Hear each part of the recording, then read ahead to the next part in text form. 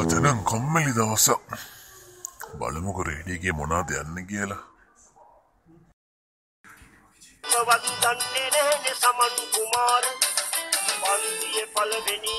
පුතා මේනෝ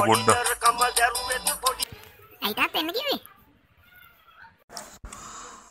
ඔයත් කවදහරි සමන් කුමාර වගේ වෙන්න ඕන අනයම්බේ නම්බ ඇයිකුල්ලු බෑ කියන්න? සමන්කුමාර පන්ති පලන වෙලාන තාත්ත බැනුම් කෑවි. ඔව් ඉති වම්බට සමයියගේ පුතා ඉන්න තාත්ත අපේ පන්ති ආව්. මන් දන්න ඒක.